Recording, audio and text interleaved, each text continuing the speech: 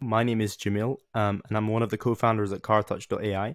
And today I'm going to be showing you the CarTouch.ai web portal where marketing agencies and dealerships can edit their vehicle images into virtual backdrops uh, for higher click-through on their listings or to increase brand awareness uh, and to create cleaner photos that really resemble the quality of the dealership.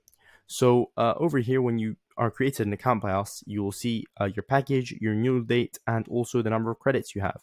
And over here, uh, I'll just jump into the exterior backdrop library. So this exterior backdrop library has a bunch of backdrops that you can choose from. So uh, interior, outdoor.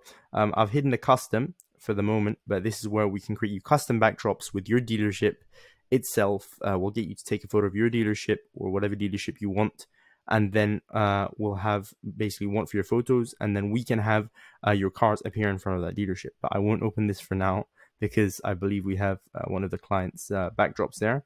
So uh, generally, um, this is what it looks like. You pick your backdrop. Um, after picking the backdrop, you would then upload the logo. I've just uploaded a standard Euro logo, and then you'd pick the position. After that, you would go to uh, the vehicle retouch area where you can now edit your vehicle. So I'm going to upload this exterior image um, over here. Uh, we can see this exterior image over here. Um, and then I'm going to upload this interior image into the interior section. And uh, I'm now going to choose a cutting style. So I'm going to choose full cut for this exterior, meaning it's going to fully take it out of the image, the car, and put it into a virtual studio. And then for the output size, I'm going to choose uh, one one through three by a thousand, but obviously this can be changed. Um, if you want a custom backdrop, we can change the resolutions that would come up for you. But this is just with a regular backdrop. Um, and uh, we'll just uh, whiten out these uh, uh, unnecessary stuff in the in the windshield. So over here for the uh, interior. So I'm just gonna name this. Uh, usually you use a number plate, but I'll just name this sample one and then I will go ahead and hit process.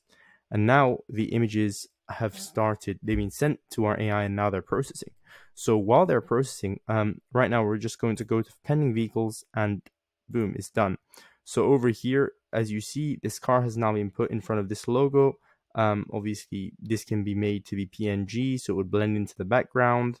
Uh, but generally, this is just a, just a stock um, image. We also can actually put your own dealership in the background um, and make it look very make it look natural that your car is in front of your dealership with you know your dealership building name blah blah blah. This is just an example. Uh, and here we have the interior has been whitened out. This is watermarked. When you decide okay i want to buy this then two credits will be deducted. Purchase it. And then you can happily now download the images. Um, and there you go. You downloaded the image